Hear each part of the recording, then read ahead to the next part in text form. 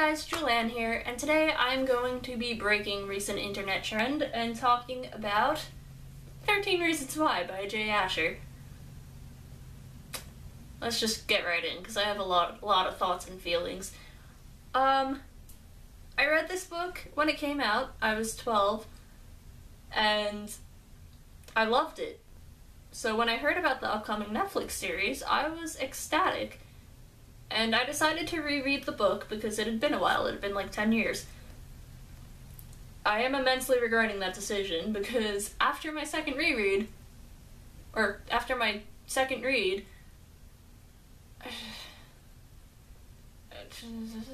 I didn't like it. I had problems there. Let's just let's just start. For me, for me probably the biggest problem was that I felt like it romanticized suicide. I remember being 12 and thinking it was such a romantic story. But, I mean, Hannah herself on Clay's tape even references Romeo and Juliet, and they really did feel like star-crossed lovers to me. I I just I thought it was such a romantic story and I'm kind of realizing now how completely effed up that is. The book, for me, kind of read like a romance story between Clay Jensen and a dead girl who killed herself. And it was just very uncomfortable and strange and sort of inappropriate to me. Like I just it I didn't I didn't like it very much. It was very I don't know. I it it was a problem.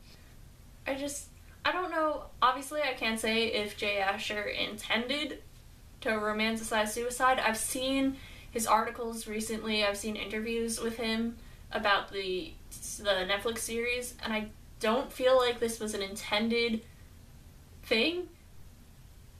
But regardless, I, I found fault with it. There's there's nothing romantic about suicide there's nothing romantic about someone being so ill. It's it's quite frankly a sickness and I mean I've I've been there, so I'm not judging anybody, but I just maybe because I've been there, I found it very inappropriate, very unsettling, very concerning. It's it's not romantic. It's it's a sickness, and there is treatment, which brings me to my next issue with the story. I felt like the book really excused the action of suicide. What I mean is, I felt like Hannah having all these reasons and Clay putting so much stock into her reasons for taking her life really left the reader with the impression that other people broke or damaged Hannah and that had these instances not occurred, Hannah would have been fine and still alive. And I mean, while these reasons didn't help, they're really not the cause of what happens. Like I said, suicide and depression is a sickness, and these reasons definitely didn't help, but they were not the underlying cause. There was already a problem, and they just helped it along, but I felt like the book was too too focused on blame and whose fault this was rather than the fact that she was sick and there was no shame in that. It put too much effort on blaming other people and later on blaming Hannah instead of putting to uh, instead of putting any focus really on the fact that she just needed help. I, I, I just worried while reading it that someone contemplating suicide and reading this book would get the impression that they wouldn't have to feel bad about taking their life because they could blame other people and therefore no one would be angry at them for taking their life. And I just worry that that might just be a little too convenient. I, I don't know. It just I cannot stress enough if you are considering taking your own life, get help. You you go and I trust me, I know it is not comfortable or easy to sit down and tell someone I am ta- I'm thinking about taking my own life. I'm considering suicide. It's not an easy thing to say. It's not a comfortable thing to say. Trust me, I know. But it's it's also the only thing you can say to actually get the help you need, which actually brings me to my next point. In the book, the only instance into which Hannah tries to get help, she sort of codes her needs. What I mean is, she doesn't say flat out, This is the problem. I'm considering suicide and I need help. She codes it. She, she says things like, I'm feeling really down. I, I wish everything would stop, etc., etc. The book puts her life in the hands of someone else, which is not where your life goes in that moment. In that moment, your life is completely in your hands, and the book really puts it on Mr. Porter. I remember being 12 and absolutely despising Mr. Porter because I, I was just so angry at him. I was like, she she came to you. How could you how could you not help her? How could you not know that she needed help? How could you let her walk out of that office? How could you do this? How could you do that? This time around, however, it occurred to me that A, he's an English teacher. He's not he's not a therapist. He's not a licensed therapist. He isn't trained to know the signs. He's not really trained to help. He's an English teacher. He's not trained for this. I actually felt really bad for him this time reading it because, I mean, he's already probably blaming himself, and now he has these tapes to look forward to. Great. And B, she wasn't clear. And again, this isn't blaming Hannah, obviously, but he's not a trained therapist and her her needs were not made clear to him and i just feel so bad for him because i mean how you really can't expect him to have had all of the answers and just been like oh okay well obviously you mean this let me help you with this you need to be clear and i feel like making this the deciding factor for hannah the hinging moment for hannah sends a really bad message. This is the one instance where she went to get help, and I don't think someone considering suicide and reading the scene is going to go, oh, well, obviously he's not a mental health professional, so of course he couldn't help. I feel like this scene is going to leave the message no one can help you. And that terrifies me for anyone reading this book who is considering taking their own life.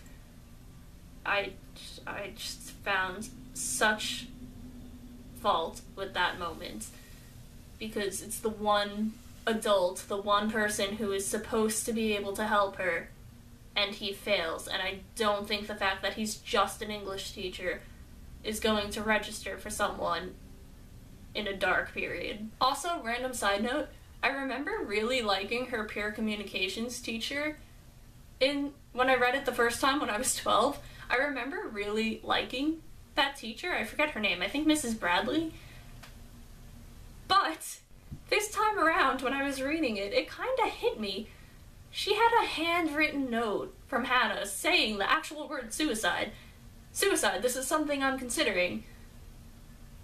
She's her teacher. How did she not recognize the handwriting? I mean. I mean.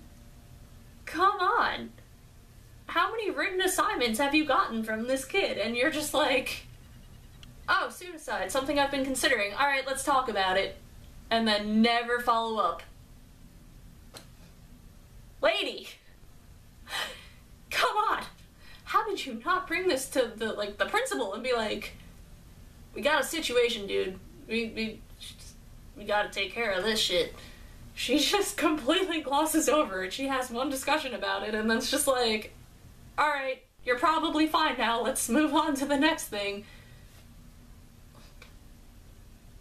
Really? Really, Mrs. Bradley? I also. Those are like my biggest issues with the story as far as the message. As far as writing goes, though, am I the only one who's kind of annoyed by Clay's tape? Like, I just felt like it was so convenient that he was the only one who didn't actually do something to Hannah. The only one where Hannah was like, You don't belong on this list. I just needed you in here to tell my story correctly. But you're actually innocent. You you don't have to blame yourself. I mean that really irritated me this time around. I was really relieved when I was 12 and reading it, but this time around I was just kind of like what? what? Seriously? Like it just it was so convenient and really kind of lame. Like if he did it, I just why couldn't you tell why couldn't you tell his story and then rather than torture him with these tapes, just send him a note and be like, "Hey, I'm sorry, but you don't deserve me." Blah blah, or I don't deserve you. I don't deserve you. Bye. Like, I don't. I just. It just. I don't know.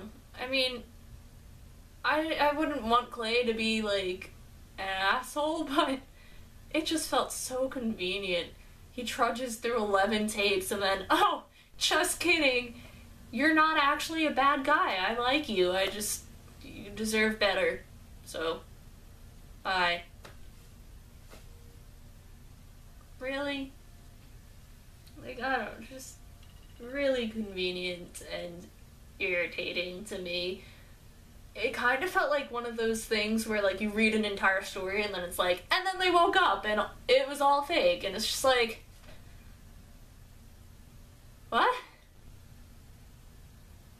What? What? Really? I don't. Am I? Do you agree? Was anybody else annoyed by that? Let me know know in the comments because I might just be weird. I'm open to that possibility. I also wasn't a big fan of the writing. Like I felt like the writing just focused on like such insignificant details. Like it was just really choppy. Like okay, so for example, he he would say like I went into the store, then I went to the back to where they keep the sodas. Then I opened the door and grabbed an orange soda. Then I went up to the counter. Then I picked out a candy bar. Then I paid for it. Then I went outside. Then I sat down. Then I opened the soda and took a sip. Then I opened the candy bar and realized I didn't want it. Then I threw it out. And it's just like, what? The writing gave me whiplash. like, I just, I didn't like the writing at all. Like, why couldn't you just shorten it too? I went into the store, got a soda and a candy bar, and then I went outside, sat down, realized I didn't want the candy bar, and that was it. That's all that happened. I just, it, I don't know. I, I really didn't like the writing. Um, like I said, compared to everything else, that is a very minor issue that I had. But, yeah. And finally, the characters sort of all blended together for me. Like, I don't know about you guys, but the characters just all seemed exactly the same. Probably because we were getting them from Hannah's point of view in the one instance where they really screwed her over, so they all were assholes as far as we were concerned, and they just all were the same exact person in my mind. I really couldn't differentiate between any of them. Um, Clay, kind of, like I could kind of separate Clay from the rest, but only because he was telling the story or helping tell the story. For the most part, though, everyone just seemed like the same person. And Clay's mom, Jesus, Clay's mom. When I was 12, I thought she was so cool because she was just so easygoing and like, okay, yeah, have fun. But this time I was just kind of like, dude, you're like such a bad parent. She knows he's lying. He's like out and he's like, oh, I'm with friends. And then she finds out he's not. And she's just like, okay, well, stay safe. What? My mom would have dragged my ass home and been like, you are never leaving this house again. You're grounded for the rest of your life she's just like, okay, have fun out in the big wide world, even though I have no idea what you're doing or where you're going. What parent does that? No, no. I'm sorry, but I was just like, seriously? I, I have never had a more less I don't know. Why are parents in YAs always always so unconvincing? Every parent is just not present and just so lenient and it drives me crazy. Fear not, I do have two nice things to say. Uh they're kind of minor, but they are there. I thought Clay was funny, and I got a lot of creative ideas from this book. For example, the scribble books from when he's sitting in Monet's. I think that would be such a fun thing to do at like my house if someone comes and visits, having them scribble something into the book, and then like I can look over it at the end of the year. Uh, the collection of things found around campus, Ryan's collection. I think that would be really fun to do. Just walk around finding things and keeping them and putting them in a little journal or something. Also sounds fun. Those have nothing to do with this story, but I thought Clay was funny and I got a lot of nice creative ideas from it. Yeah. I didn't like this book. This book really rubbed me the wrong way. I liked the adaptation, the series, the Netflix series. I actually really ended up enjoying. Well, I mean, I was still kind of pissed at the story, but I think they fixed a lot of things in the series. They fleshed out the characters a lot. I could actually tell the characters apart. I actually liked some of the other characters. Uh, and I, I, I just, I feel like fleshing out those stories kind of took it away from a blame area because now we were seeing other characters and their lives and their feelings and realizing that because that's one of the problems I had with the book too. I forgot to mention. Um, it focused a lot on what Hannah was feeling and was like, you never know what's going on in someone's life. How could you have done this to her? But kind of glosses over the fact that the people who did things to her, and I'm putting it in quotes because some of the people who did things, it was kind of just like, eh, this not talking about like Bryce Walker or Justin, obviously, but some of them it was just kind of like that doesn't seem that bad. Like I can see why it was upsetting, but it doesn't seem like it belongs on a list with a rapist. I don't know, but I liked the way you could see those other characters, and I liked how it kind of brought you back to the fact that they also are people and have things going on in their own lives as well that may have resulted in this. For example, Courtney. I mean, they changed that story up a little bit, but Alex, Jessica, all of these people, like, I, I don't know, it just. I liked the fact, I felt like it was more humanizing than the books. I feel like in the books it kind of only had Hannah as a human, and they were just kind of like, she was a human, how could you do this to her? Let's not even think about the fact that you're a human who has shit going on too. And I think the series, the Netflix series, fixed that up a bit, which I appreciated. Thank you, Netflix. Um, I also liked the change they made to Clay's mom because she actually seemed to give a shit in the in the series and I mean, she was annoying as well, but she was annoying in a parent sort of way. It wasn't like I was annoyed at her because she wasn't doing her job as a mother and was just being like, okay, go ahead and lie to me, it's all great. She was annoying in a parent sort of way, as in, I want to know what the hell is going on. You just tell me shit. Uh, what else in the series did I think they fixed? I also liked that Hannah's parents didn't just disappear in the book. They're just gone. Like Clay says at one point that after she died, they just no one's seen them since. And I like in the in the show that they're actually still there and you get to see what it did to them because I think that's important to point out to people who may be considering taking their life. You're leaving people behind and it's important to like realize what that's going to do to them. Uh so yeah, I think this may be one of the rare occasions where I prefer the film adaptation to the actual first book. It still had issues, um, but I liked it a lot better than the book. They fixed a lot of the issues that I had with the book. One problem I did have with the series, too, with the show, I mean, like I said, they fixed a lot, but Tony's relationship with what was his name, Brad, his his boyfriend.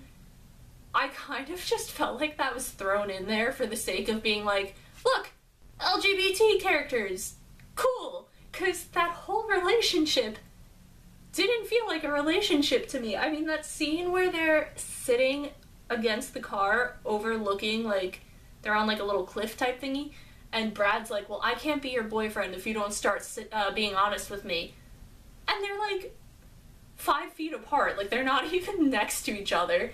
There's never a scene with them holding hands. They kind of just seem like they're kind of like sort of friends or something. I just it felt so weird. There was nothing in there except for Tony being like, "Oh yeah, that's my boyfriend." To say that they were boyfriends, it kind of just felt like they were thrown in there, but they didn't actually want to show a relationship. And I mean, I'm not asking for a storyline with those two characters because that's not what it's about. I'm not asking to like see their relationship unfold at all, but if they're in a relationship, you can have a scene with them holding hands or one of them with their arm around the other and it's not going to take away from the story it's just going to make it not look like really awkward like two guys who kind of don't even want to be there when they were sitting so far apart from each other over this beautiful scene and their boyfriends i was just like and i know they were having like a little fight type thing but like still i just i would have like thought they'd be like closer like maybe their shoulders barely touching. Like, I don't know. It just didn't look like a relationship.